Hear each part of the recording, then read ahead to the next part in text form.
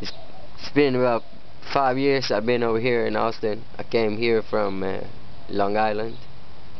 That's where I went first off the boat, the banana boat. We took a left turn at Key West and went up the. Oh, that scared me! the bombas of Cuba coming back. That's like Fidel, coño. So, oh, the police are coming.